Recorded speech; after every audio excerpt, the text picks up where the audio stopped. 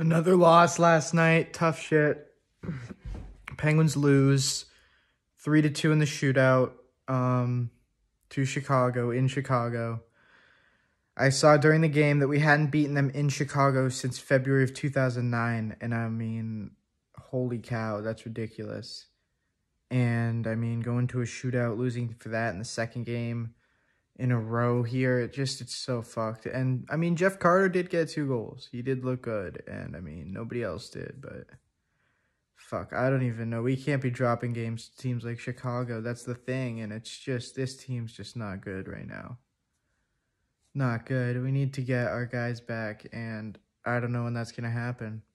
Um, but whatever. Let's go Pens and let's see what happens.